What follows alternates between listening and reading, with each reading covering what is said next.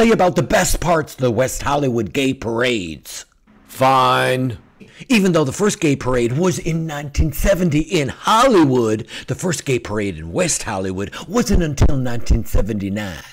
Don't you even ask if I was at the first gay parade in West Hollywood in 1979. You know I'm far too young for that. Of course you are, sweetheart. So, what was the first West Hollywood gay parade like?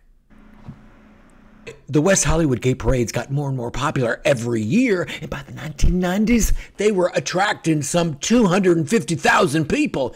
I did my research. Didn't your husband Jeffrey march in a lot of the gay parades?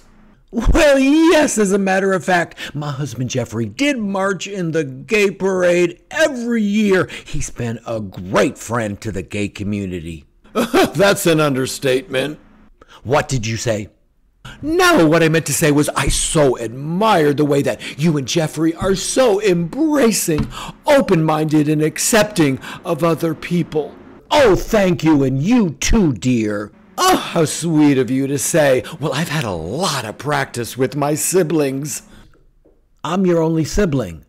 Exactly, but can we get back to the tour, please? I didn't think we ever left.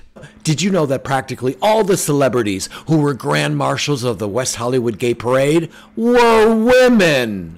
I was just about to tell you about the famous celebrities who were grand marshals of the West Hollywood Gay Parade, like Elizabeth Montgomery. Oh, I loved her in Bewitched when she twitched her little nose. Cyndi Lauper, girls just want to have fun.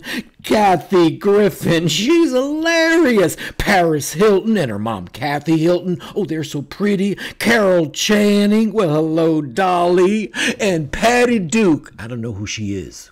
Yeah, did you notice that you only named women? Why weren't there any men on that list of grand marshals of the West Hollywood Gay Parade? Well, I think they were just too busy. Oh, wrong again. The men were just too afraid to be associated with gay rights. I think it's really interesting that famous women celebrities were the first people to publicly stand up and embrace LGBT pride. Well, now that is something to think about. And I have something else for you to think about.